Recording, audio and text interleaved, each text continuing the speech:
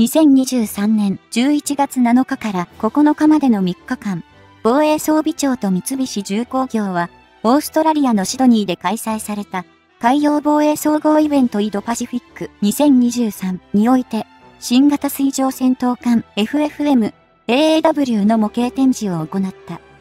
この艦は、海上自衛隊が新型 FFM と称し、モガミ型護衛艦に続く派生型と言ってもよい。今回は、この海外売り込み用、新型 FFM 派生型について詳しく見ていきましょう。潜水艦の時とは状況が違いますし、これは世界に売る気満々かな。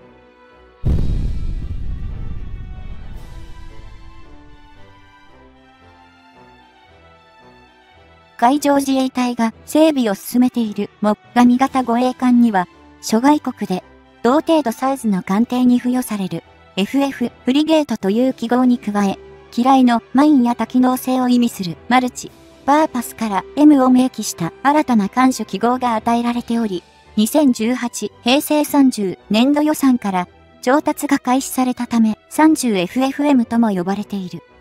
目下、味型は当初22隻の建造が計画されていたが、防衛省は12隻で終了させて新型護衛艦建造を決定した。FFM、AAW というのは、新型護衛艦の設計をもとに、三菱重工業が諸外国に提案している艦と言ってもいいでしょう。FFM、AAW は、洋上ステルス性能を追求した船体の設計や、その機能のために採用されたユニコーンと呼ばれる形状のマストも、モッガ味型を踏襲していた。しかし、モガ、味型の基準排水量が3900トンであるのに対して、新型護衛艦の基準排水量は4880トン前後にまで増加しており、また、全長も133メートルから約142メートルへと巨大化していた。ちなみに、駆逐艦を意味する DD の艦種記号を持つ汎用護衛艦、村雨型の基準排水量は4550トン、高波型の基準排水量は4650トンなので、新型護衛艦は、艦種こそフリゲート FFM であるが、汎用護衛艦 DD をも上回る大型艦であることがわかる。新型護衛艦の推進方式は、も、が味型と同様で、低速航行時に2機のディーゼルエンジンを使用し、高速航行時にはガスタービンエンジンを使用するコダグを採用しているため、最大速度は、も、が味型と同じく時速30ノット以上約 56km 毎時になると見られている。搭載する兵装は、62口径5インチ砲と短距離艦対空ミサイルの C ラムのランチャー、17式艦対艦誘導弾の4連装発射塔2機、324mm3 連装単魚雷発射艦、垂直発射装置 MK41 VLS で、この構成に関しても、目下味型を踏襲している。しかし、その中でも、セルと呼ばれる、VLS に収納されたミサイルの発射塔を兼ねた保管容器の数だけが、もが、味型の16セルから32セルへとバージョンアップされていた。MK41VLS は、駐車定艦対空ミサイルのスタンダードやシースパローなども発射できるが、海上自衛隊は、セル数が少量であるモッガミ型の VLS には、ミサイルの先端に魚雷を搭載した兵器で、通常の魚雷に比べて遠距離に位置する潜水艦を攻撃できる07式垂直発射魚雷投射ロケットのみを搭載し、今のところ駐車定艦対空ミサイルを搭載することにはなっていない。そもそも FFM、AAW の AAW はアンチ、エアー、ウォーフェアすなわち対空戦を意味しており、FFM、AAW と新型護衛艦は VLS のセル数を増やして駐車定艦対空ミサイルを搭載することによって、目下味型と比較しても、大幅に対空戦能力を強化することができるのだ。冒頭でも述べたように、防衛省は、目下味型の建造を12隻で終了し、新型護衛艦の建造を計画している。要するに、防衛省は、目下味型の補填として、新型護衛艦10隻の建造を予定していたわけだが、後に12隻へと増やしている。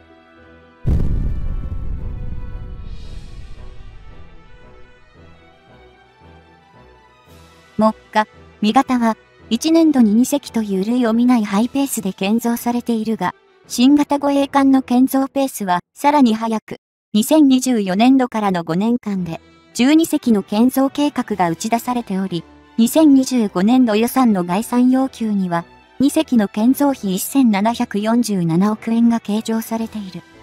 2028年度には、海上自衛隊のいずれかの基地に配備される予定だ。も、神型の生みの親である三菱重工業は、同型の建造途上の段階から、FFM もが、味型の基本設計を踏襲してファミリー化を図る将来型多用途フリゲート、FMF フューチャーマルチ、ミッションフリゲート構想を発表していた。FFM AAW の模型は、今回のインドパシフィック2023で初めて公開されたわけだが、そのコンセプトに関しては、2019年11月に千葉市の幕張メッセで開催された防衛関連総合イベント DSEI Japan 2019において FMF ファミリーの一つとして発表されていた。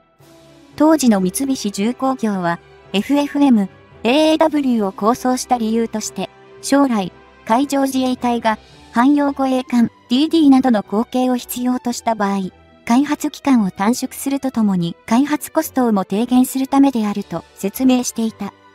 その考え方の正しさは、新型護衛艦の整備計画で実証されたと言っても過言ではない。さらに、三菱重工業は、FMF ファミリーとして、FFM もが、味型の基本設計をもとに、胴体を短縮した哨戒艦型と海上保安庁専用となるかもしれない沿岸警備隊型も構想しており、DSEI Japan 2019でその模型を展示していた。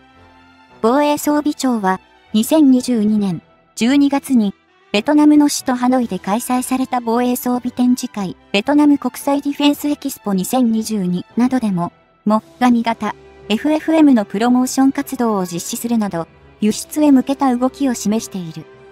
個人的には、FFM、AAW や FFM の動体短縮型も、有力な輸出商品になり得るポテンシャルは十分にあると考えている。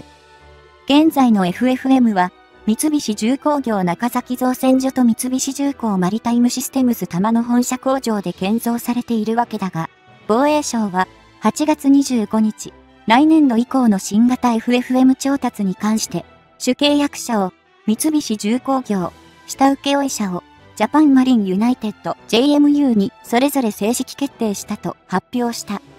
これが本当に5年間で12隻の建造となれば1年間に2隻を超える3隻の建造が見込まれる年が生じるため、その分、作業量や人件費ともに増加となるわけだが、その人たちのおかげで、海上防衛力の強化につながる。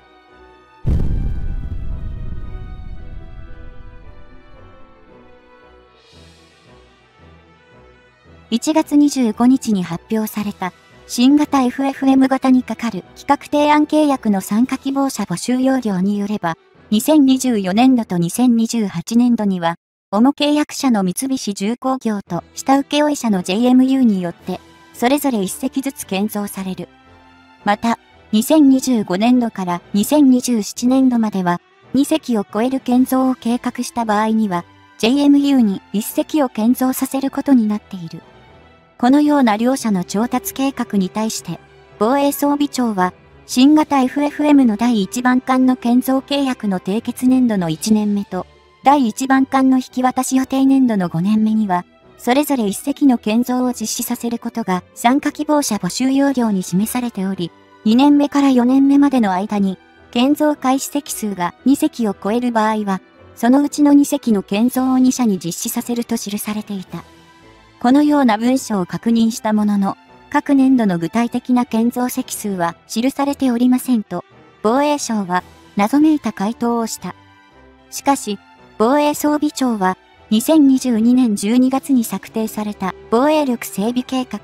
2023年度から2027年度で述べられた護衛艦12隻の調達に関しては、目下、味型2隻と新型 FFM10 隻のことであることをはっきりと認めている。また、防衛装備庁は、防衛力整備計画に示された護衛艦12隻のうち2隻は、2022年度予算にて、建造予定のもが味型護衛艦を指しており、残りの10隻が新型 FFM を指していると明確に回答した。このことによって、今後5年間のいずれかで、イージスシステム搭載護衛艦 DDG のマヤ型護衛艦や工場型 DDG2 隻の建造に着手するとの見方も一部ではあったが、それが否定されたことになる。いずれにしても、海外売り込み用の新型 FFM に火がついて、日本の軍需産業が盛り上がったら、当然中国は黙っていないだろうし、そこにアメリカがどのように割り込んでくるかも気になるところだ。しかし、これらのことは、すべて、インド太平洋の平和を守るために使われるものだということを、我々日本国民は理解しなければならない。